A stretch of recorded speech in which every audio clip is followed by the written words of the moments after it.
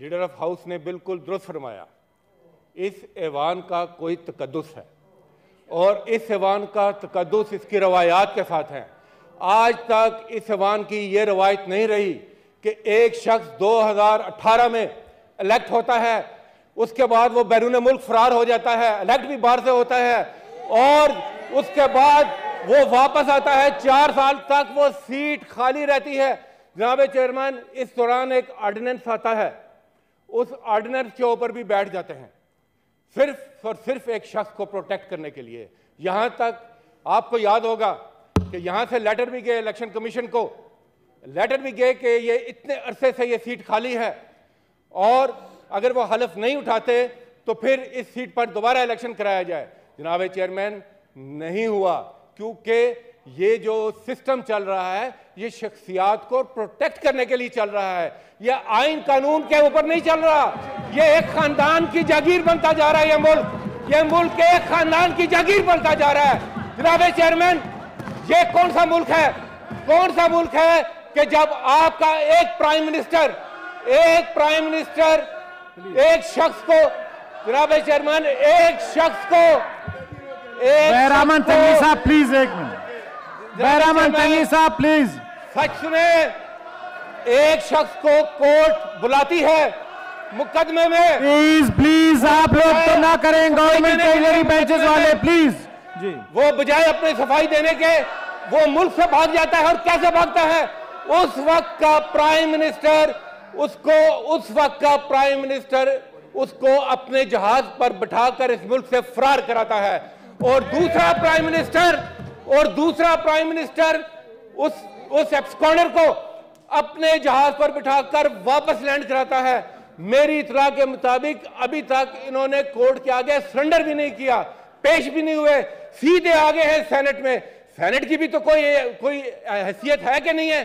Senate का भी कोई एहतराम है तो है कि नहीं है? कोर्टों का एहतराम होगा। सेनेट का और पार्लियामेंट का भी एहतराम है।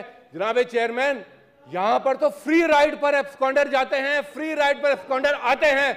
ये तो इकोनॉमी क्लास का किराया भी नहीं पे करते जहाज़ भी उसमें जाते हैं जिसका जिसका खर्चा इसी मुल्क के टैक्स गुजार देते हैं। ये मज़ाक बंद होना चाहिए जनाब चेयरमैन ये आपने उस दिन देखा आपने ऑडियो लीक्स देखी। सर ऑडियो लीक्स ने बता दिया कि इस मुल्क के ऊपर एक खानदान अपना शाही राज मुसलत करना चाहता है। और सर जितने जमहूरियत पसंद है वो इस शाही राज को मुसलत नहीं होने देंगे। जिस शख्स जिस शख्स के ऊपर यह इल्ज़ाम है कि पाकिस्तान की मीशत का बेड़ा गर्क किया है उसने उसी को आप उसके इलाज के लिए लेकर आ रहे हैं। थैंक यू सर बीमार हुए? मीर क्या सादा है? मीर क्या सादा है? आपके ही leader of the opposition Mir क्या सादा है?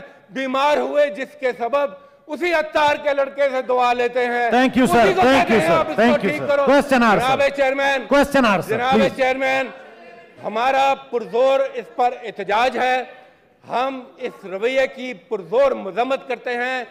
इस मुल्क में आइन और कानून की बालादस्ती होनी चाहिए। इस मुल्क Thank में इश्तहारियों की कोई गुंजाइश नहीं है। Thank you, अपने आप को अदालतों में पेश Thank करें। you, sir. अपने. आप को अदालतों से आप सुरखरू कराएँ। और Thank you, sir. और सर आइन और कानून को अपनी जेब की घड़ी मत समझें ना इदारों को। ये यहाँ पर इस वक्त मसला ये है सर एक शख्स है। सर थैंक यू एक शख्स है जिसका नाम है इक्तदार। वो डॉक्टर भी सबसे बड़ा है। यानी जब इक्तदार होता है तो बीमारियाँ भी सारी ठीक। वो वकील भी सबसे बड़ा है। यानी जब इकतदार होता है तो मुकदमे भी सारे खत्म। ये कौन सा मुल्क कौन सी बनाना रिपब्लिक बनाने जा रहे हैं सर इस मुल्क को?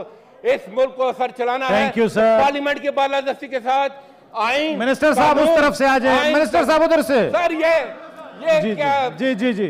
आइन कानून और जब्ते के तहत वरना इस मुल्क को हम बनाना थैंक यू सर नहीं बनने देंगे। Thank you sir honourable leader of the house sir एक इस्तदा करूँगा। फिरते जज्बात में लीडर ऑफ़ अपोजिशन बहुत कुछ कह गए। उनका हक है उन्हें कहना चाहिए।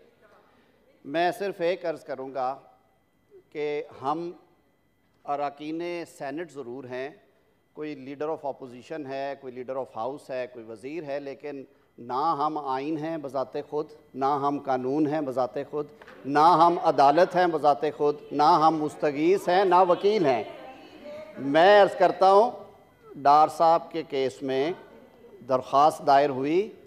अदालत ने सात अक्टूबर तक को उसको मअतल किया कार्रवाई को। ये एक अदालती फ़ैसला होता है। इस मुल्क के सदर ममलिकत जो आज मसनद पे बैठे हुए हैं वो भी इश्तिहारी थे। पिछली हुकूमत के वज़ी अजम भी इश्तहारी थे। वो भी अदालत में जाके उन्होंने उन्होंने अदालत में please please order order please leader of the house बात कर रहे हैं। थोड़ा सा इज़्ज़त का है डॉक्टर साहब। तशरीफ़ रखें प्लीज़ तशरीफ़ रखें। सिर्फ़ इतनी डॉक्टर जरका साहबा प्लीज़ सिर्फ़ फलकनाथ साहबा मैं सिर्फ़ सिर्फ़ इतनी सिर्फ़ इतनी इस्तदा है नहीं नहीं सदर साहब सदर साहब ने सदर साहब ने खुद ऑप्ट किया और अदालत में जाके उन्होंने। तीन चार माह बल्कि मार्च 2022 में सदर ममलिकत ने दरख्वास्त दे के अदालत से बरीत हासिल की। वज़ी अजम साहब का भी यही मामला था उस वक्त के। इमरान खान ने भी ये किया, इस मुल्क में आइन और कानून की पासदारी है और खुदारा आपकी ज़ाती पसंद, नापसंद के ऊपर ना तो कोई सीट खाली हो सकती है आइन पाकिस्तान उसका मैकेनिज़्म देता है। आपने एक पर्सन स्पेसिफिक अमेंडमेंट की, वो भी वो भी सदारती ऑर्डिनेंस के ज़रिए। ये ज़रूरत भी नहीं की कि उसे पार्लिमान में ला के एक्ट ऑफ़ पार्लियामेंट बनावे। वो सदारती ऑर्डिनेंस अपनी मौत मर गया उस पर अमल दरामद नहीं हो सका वो कानून की मंशा थी वो आयन की मंशा थी वो किसी ज़ाती पसंद नापसंद पे नहीं था। तो इसलिए मैं कुछ ये क्लैरिफिकेशन से जो देना चाहता था आपको तनकीद का हक है लेकिन हकायक मस्त ना करें। बहुत शुक्रिया। क्वेश्चन जी राना महमूद हसन साहब तशरीफ़ नहीं लाए सर बस अब तशरीफ़ रखें क्वेश्चन और senator Behramand Khan Tangi question number 54 please question please sir मुझे पहले क्वेश्चन प्लीज़ सर क्वेश्चन फिर दे देंगे सर दो मिनट मुझे बोलने दें। Question sir sir leader sir question question question and question sir Behramand Tangi house तो तंगा वामा शाबाश